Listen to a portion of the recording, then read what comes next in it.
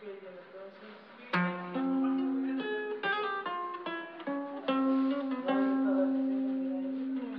caught it bad just today. You hit me with a call to your place. Ain't been out in a while anyway. Was hoping I could catch you throwing smiles in my face. Romantic talking, you don't even have to try. You're cute enough to fuck with me tonight. Looking at the table,